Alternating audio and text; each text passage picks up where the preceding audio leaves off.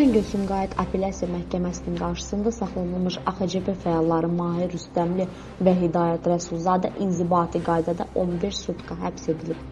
AXCB-nin məlumatına görə onlar xırda xuliqanlıq törətməklə təqsirli biliniblər.